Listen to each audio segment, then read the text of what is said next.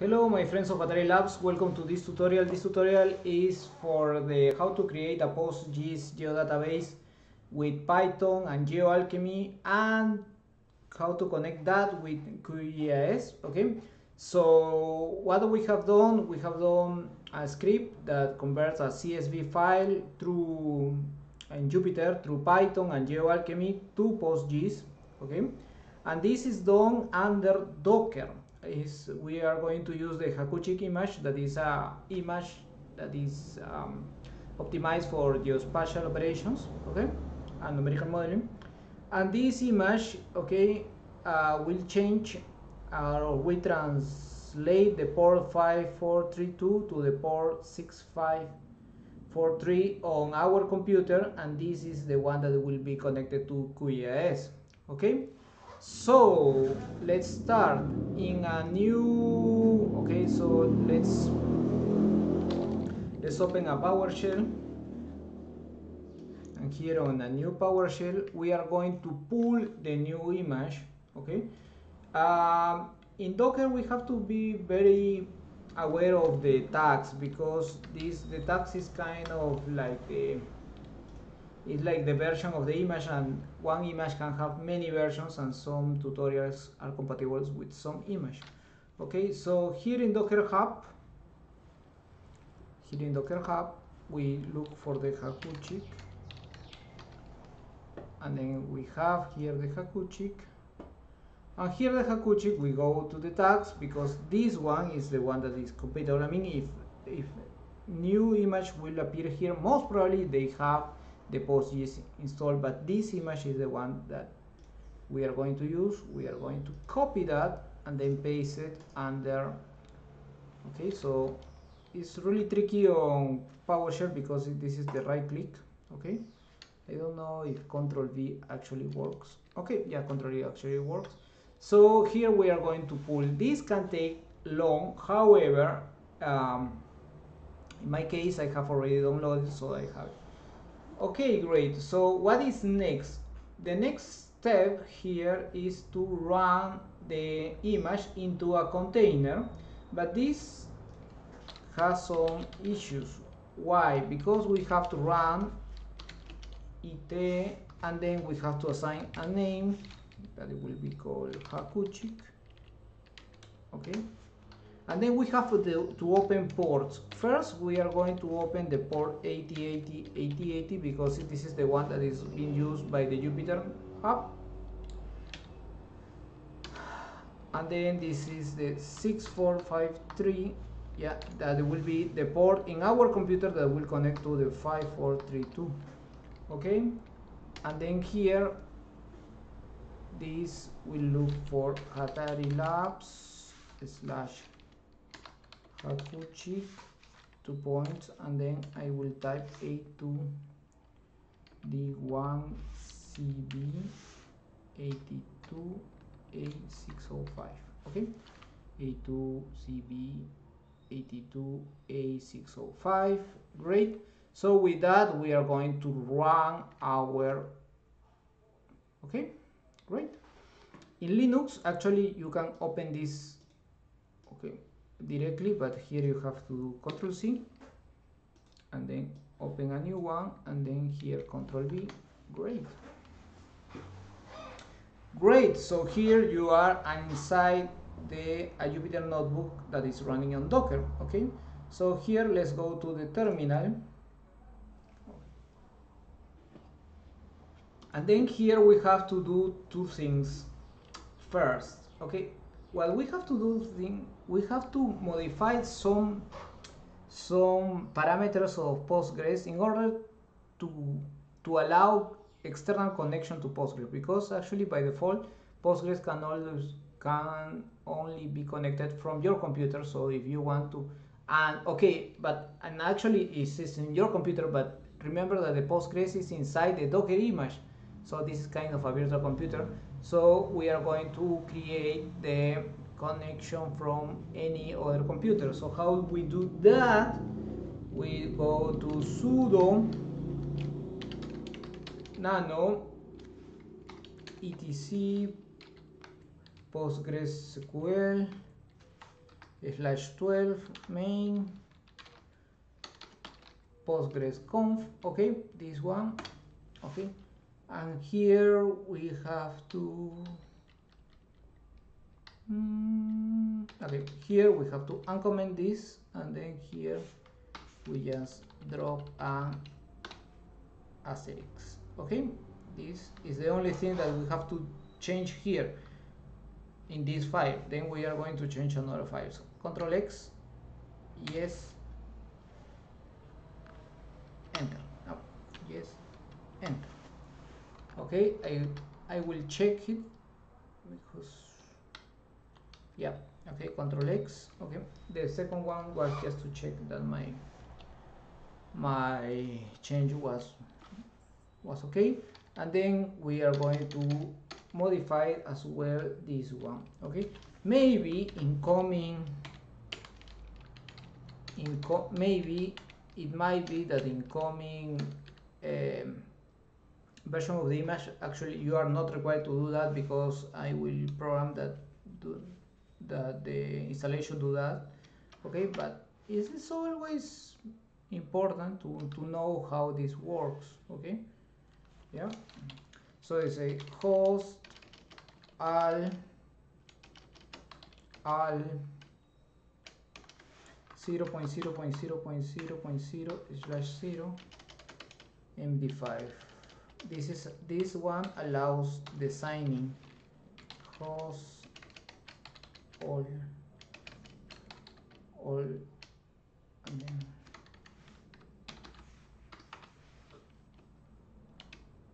MD5 host all host all yes enter. Okay with these two modifications the next thing is that we have to sudo service PostgreSQL start because we have to start the server starting and then here status we show the status and they say okay it's running. So then we are going to change of user sudo post because in order to in get into Postgres we have to use the Postgres user okay? And then we use the PSQL that is a kind of a shell of Postgres okay? Inside here say create user gis with password gis why because here we have to define the user otherwise yeah I can by default the user there is a super user that is Postgres. However we, it's not recommended to do that to that uh, it's not recommended that external use external service has the super user okay? Okay so we have created a role and then we are going to create the database. Database. And our database will be called geodatabase. And the owner of this is gis okay? And then semicolon okay? So with that we create the database. So we can list our database and then we find the database where the owner is gis. Okay then we are going to change to the database. So backslash c your database okay and now in your database so if we put there are there's nothing on this database is entirely is is free. Or is empty and then we are going here in the database so we are going to create extension post is and great. So we have created the extension. So now well, what it does is the database actually the data the database actually um, the PostGIS actually create this schema here okay? It creates only here. Okay great. So what is next? Okay so we have already Postgres running. We have a geodatabase and we have created um, we have created a, a user and a password okay? So let's connect and let's drop some values in our let's drop some values in our database okay? Because we have the database but actually there are no values. Okay how we are going to do that? We are going to open another terminal. And here we have a, a repository okay? Where we have the scripts that actually drop or like save values into the database. So we just have to clone git, git clone and then here copy this repository and that's it. So we have already our folder where we have a CSV file where we, there are some stations here some values of the stations. This, this is just any point data. So you have the station you have the latitude the longitude and the date and a value. Don't worry okay great. So and then we have some scripts and this is the one that we are going to use.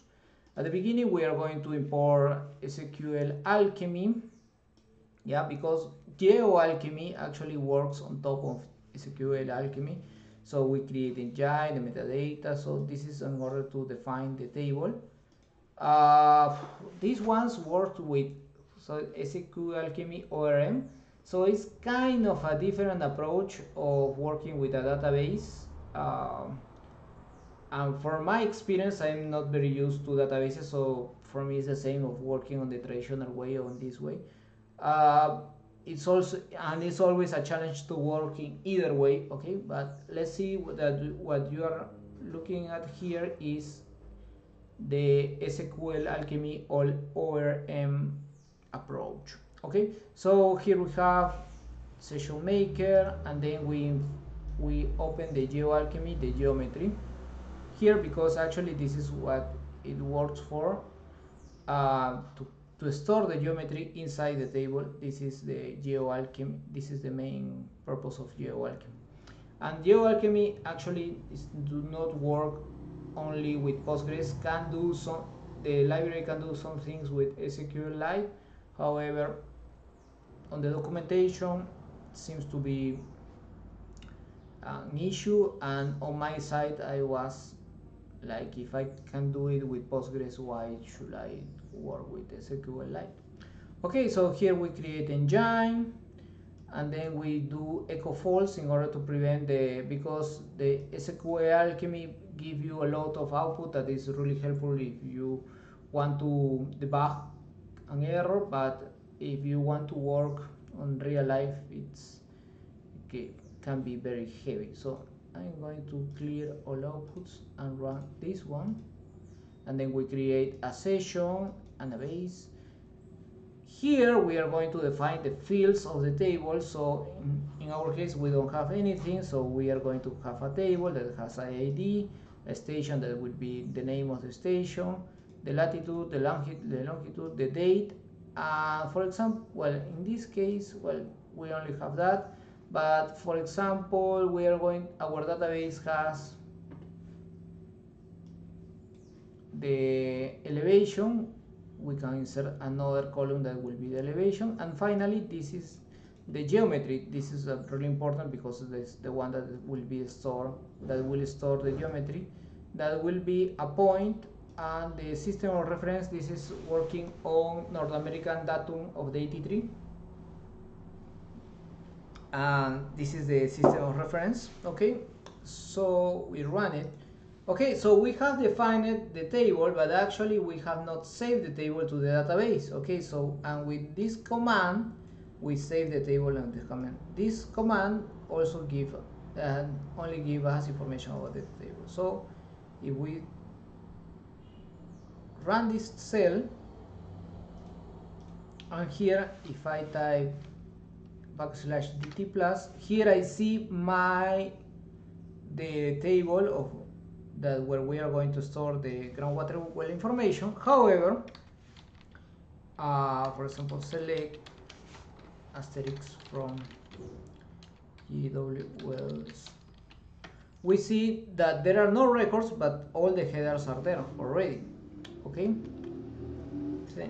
Great. So here what we are going to do now is we are going to store values in our table.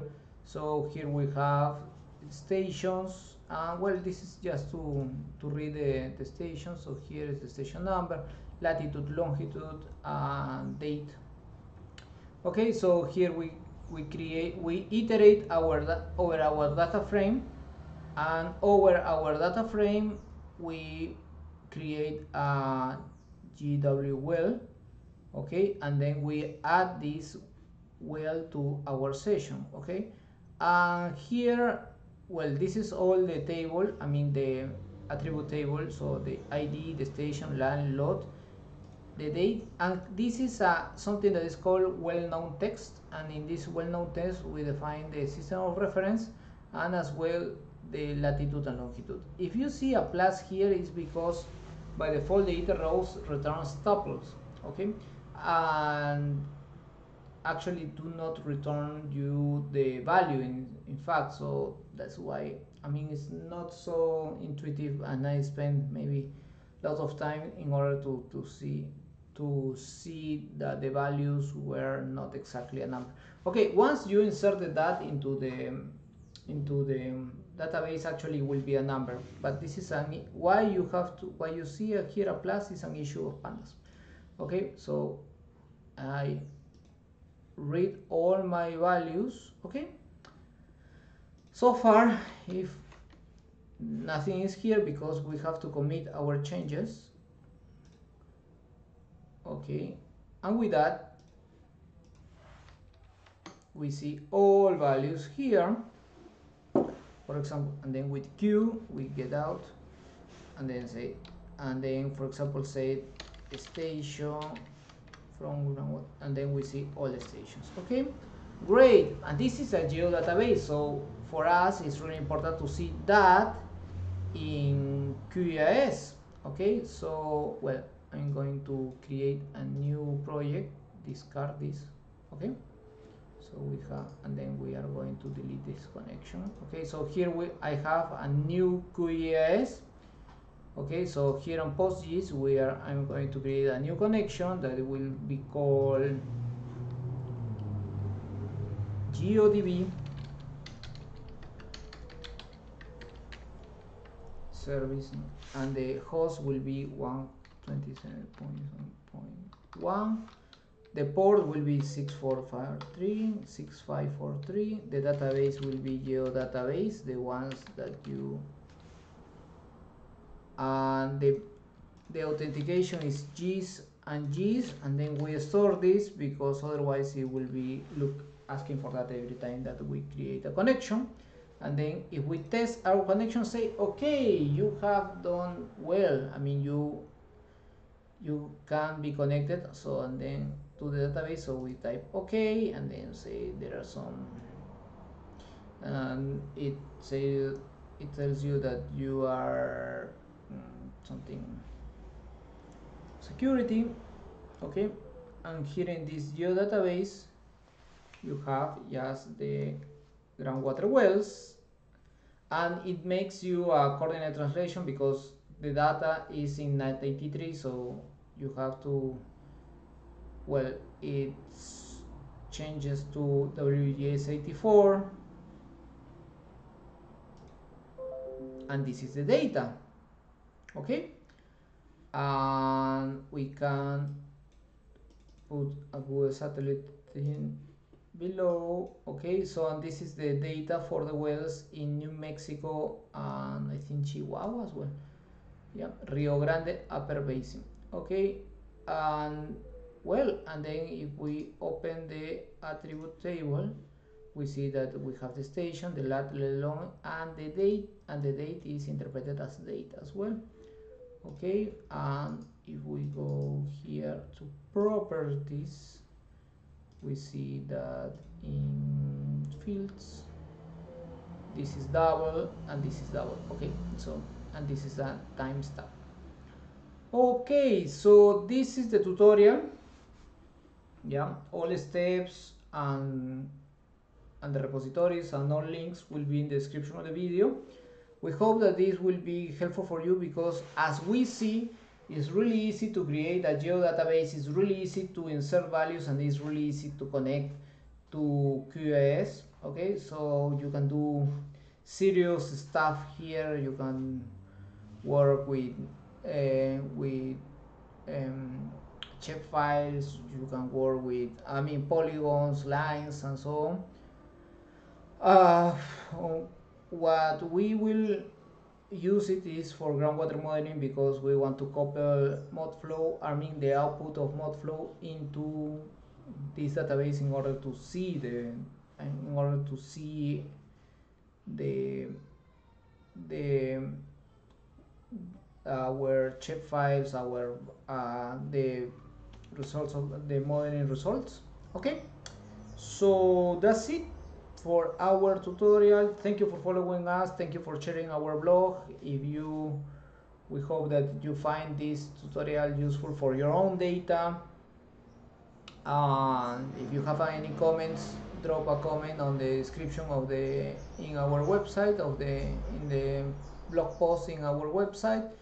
We are happy to to hear from you and have a great day. Bye bye we are close to have 10,000 followers in YouTube so if you can subscribe to our YouTube channel that will be awesome.